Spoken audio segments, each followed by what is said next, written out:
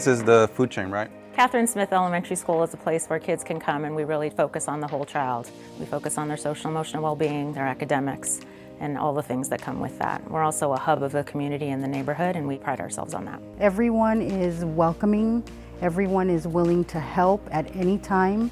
The kids are wonderful. So if my son or daughter is not talking when I think they should, does that mean they definitely have autism? No.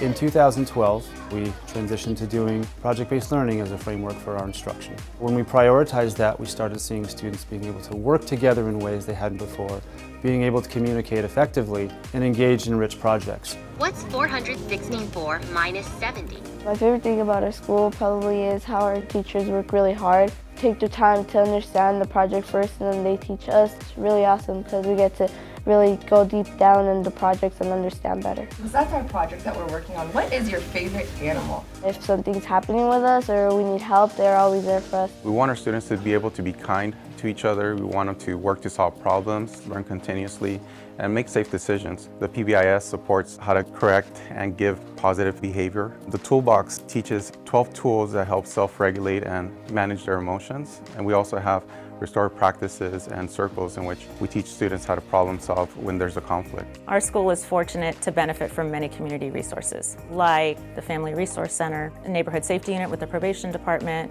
Love the school, love the teachers. They do have after-school programs. And then a quick construction update. Another thing that I enjoy, parent pride meetings. It happens every Wednesday. There's coffee conversations, and it's just a good time for parents to sit down and um, learn what's going on in the neighborhood as well as in the school. Have you been running it, testing it? It's important to think about school as a place where, yes, you learn how to read and write to prepare you, but you also need to be able to self-regulate.